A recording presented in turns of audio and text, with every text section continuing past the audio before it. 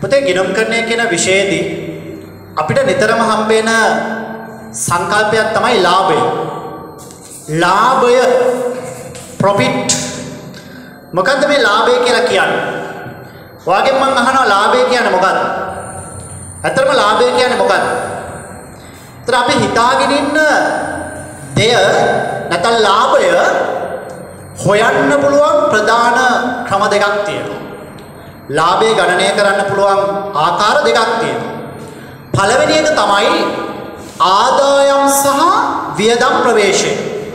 එහෙනම් ලාභය හොයන පළවෙනි ක්‍රමය මොකද්ද? ආදායම් සහ වියදම් ප්‍රවේශය.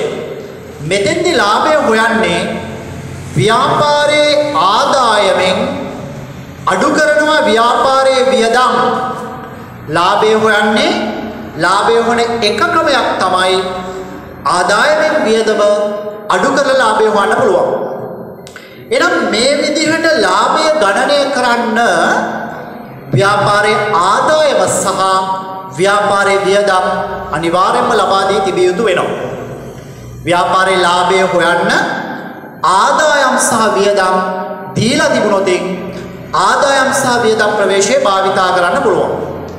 නමුත් සමහර අභ්‍යාස අපිට හම්බ වෙනවා ආදායම සහ වියදම දෙන්නේ නැහැ. ආදායම සහ වියදම දෙන්නේ නැතුව ශුද්ධ ලාභය බලාපොරොත්තු වෙනවා. එන ආදායම් සහ වියදම් දෙන්නේ නැතුව ලාභය හොයන්න පුළුවන්. අන්න ඒ ක්‍රමයට අපි කියනවා පුතේ ලාභ සමීකරණ ක්‍රමය. ලාභ සමීකරණ ක්‍රමය. හිමිකාරීත්ව ප්‍රවේශය කියලා කියනවා. එහෙම නැත්නම් ශුද්ධවත්කම් ප්‍රවේශය කියලාත් කියනවා. එහෙනම් ලාභය ගණනය කරන දෙවැනි ක්‍රමය මොකද්ද? ලාභ සමීකරණ ක්‍රමය profit equation method. එහෙම නැත්නම් හිමිකාරීත්ව ප්‍රවේශය. එහෙම නැත්නම් ශුද්ධවත්කම් ප්‍රවේශය. මෙතෙන්දී ශුද්ධ ලාභය ගණනය කරන්නේ ව්‍යාපාරයේ ශුද්ධවත්කම් හෙවත් හිමිකම් වල වෙනස පදනම් කරගෙන ශුද්ධ ලාභය ගණනය කරනවා. ශුද්ධ ලාභය ගණනය කරනවා. එහෙමනම් ඒ ක්‍රමයට අපි කියනවා ලාභ සමීකරණ ක්‍රමය. එහෙම නැත්නම් ශුද්ධවත්කම් ක්‍රමය.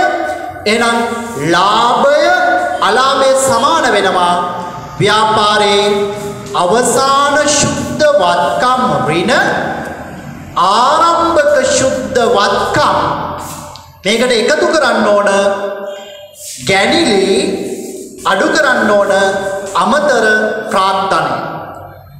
එන ලාභ සමීකරණයේ ප්‍රධාන වශයෙන් මූලික වශයෙන් කිව්වොත් ලාභය අලාභය සමාන වෙනවා අවසාන ශුද්ධවත්කමෙන් ආරම්භක ශුද්ධවත්කම අඩු කරලා ගැනිලි එකතු කරලා අමතර ප්‍රාර්ථනය අඩු කරන්න ඕන.